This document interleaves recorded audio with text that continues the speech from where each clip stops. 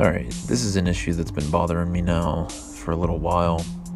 Uh, it deals with iTunes and not showing the album artwork, which I assume if you're here watching this video, you're having the same issue, and it's quite annoying because I always look at the artwork to see what I want to play. I never look at the text. So, uh, anyways, ever since I updated the iOS, it's it seemed like it, it coincided with that. It would not show artwork, as you saw there.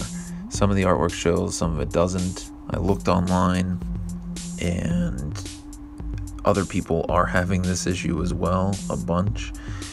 And there's some been some suggestions that uh, I tried, and went into settings and tried to turn off and on the iCloud music. They said that would do it. That didn't do it. It actually, the music library there, it actually didn't do it. It made it worse. More of the album co- covers disappeared. Um, some said just turn your phone off and on, and that should fix it. It didn't. Um, so, like, you know, just kind of going through things here, trying to figure out what happened. Why is it not showing it? Is it just a bug that iTunes um, or Apple needs to fix? I don't know. And then uh, somebody brought up the uh, storage issue. I was like, wow, that might be it. That might be it. So let's check it out. Let's see how much storage I have and see what I can get rid of and see if that can help. Um, so nothing else happened.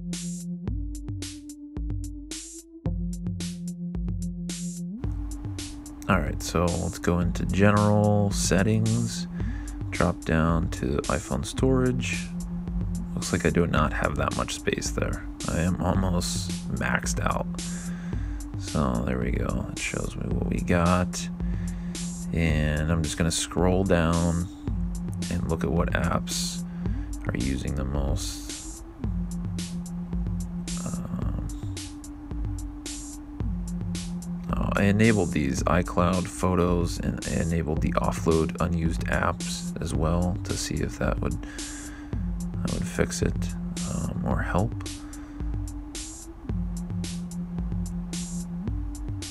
scroll down here and see what I'm using podcasts. For some reason, I stream everything. So for some reason, I accidentally downloaded these. So I'm going to delete them and see if that frees up any space. I did have a lot of space here, so I went to hit delete and it actually froze. So that's definitely causing issues. When you're running out of space on your iPhone, it will cause issues as we can see. Didn't really in the past um, with the prior iOS. Seems to now. So let me go back in there again.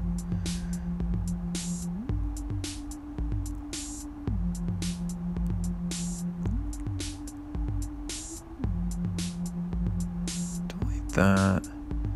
Delete some more. Delete all of these because I stream everything. Like I said, I must have accidentally downloaded these and it was using up using up a lot of space. Two hour podcast will take up a decent amount of space there. So that cleared up a lot. I'm at 21.9 now. Let's close everything out. Let's reopen music and voila. All of them appear. That's all it is. It's a storage issue. Thank God, because that was really annoying.